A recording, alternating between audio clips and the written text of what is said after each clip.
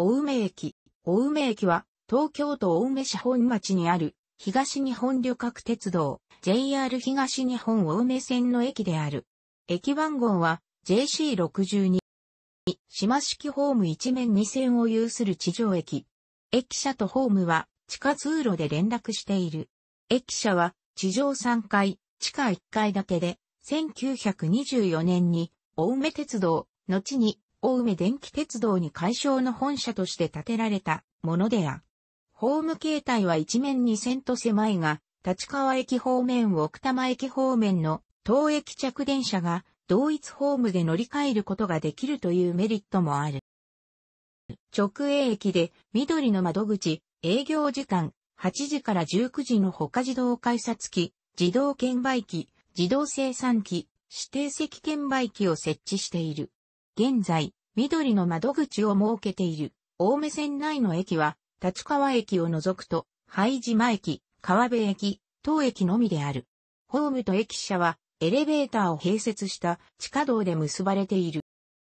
かつては、地下街が存在していた、昭和の街として、市を挙げて、当駅周辺を昭和レトロ化している中、2005年3月2日に、レトロステーション、青梅駅としてオープンし、駅名標などの案内サインやホームと駅舎を結ぶ地下道に昭和風装飾がされた。待合室も既存のプレハブに木材を張り、木造建築物を模したものに改装されている。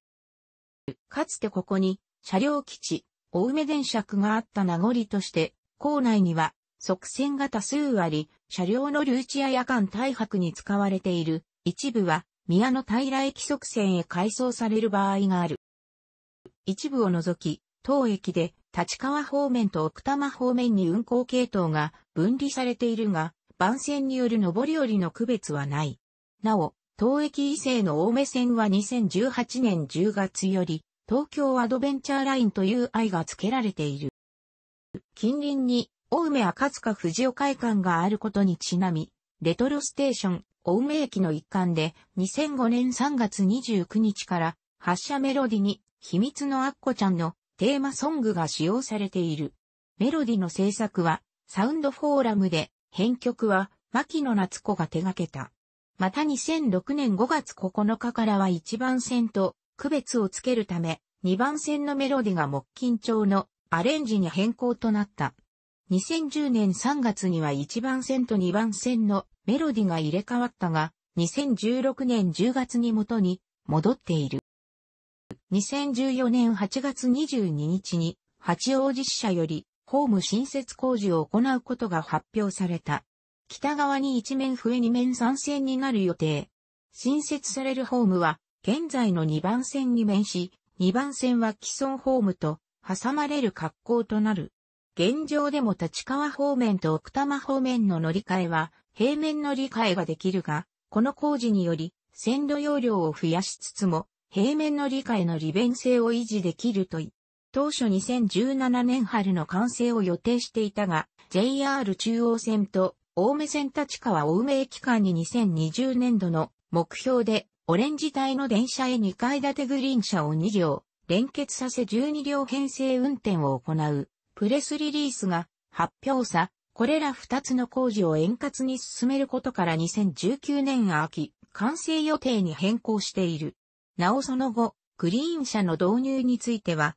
地上設備の工事に時間を要することが判明したため、当初目標の2020年度から2021年度以降の向こう5年以内へと延期されている。2018年、平成30年度の1日平均乗車人員は6497人である。近年、大幅な減少傾向が続いており、青梅市と隣接するあきる野市、秋川駅より少なく、羽村市、羽村駅の約半分である。観光客誘致やシャッター通りの商業振興が大きな課題となっている。近年の推移は下記の通りである。青梅市役所は東隣の東青梅駅が最寄り駅である。駅前ロータリーにある青梅駅前停留所に乗り入れている。都営バスと西東京バスで乗り場は異なっており、都営は駅を出て右手、西東京は駅を出て、左手にバス停がある。西東京バスの青梅営業所担当路線はすべて何らかの形で当駅前を経由する。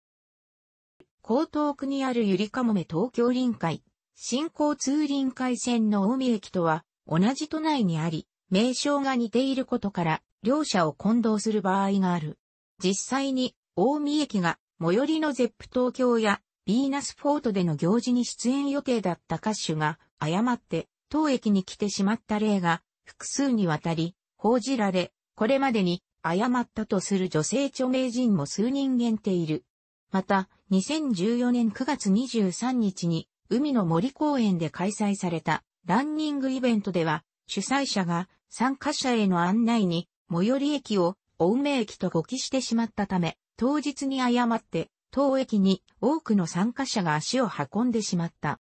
なお、同じ都内でも当駅と大見駅は直線距離にして 50km 程度はあり、移動には2時間弱の所要時間を要する。JR 東日本八王子支社によると、ゼップ東京で大きな行事がある日は、青梅駅に来てしまう人が2から3人いるといい、2019年1月25日から、ここは青梅駅と対処し、大見駅だと勘違いした人に、青梅駅から大見駅までと検索して向かうよう呼びかけるよう掲示した。楽しくご覧になりましたら、購読と良いです。クリックしてください。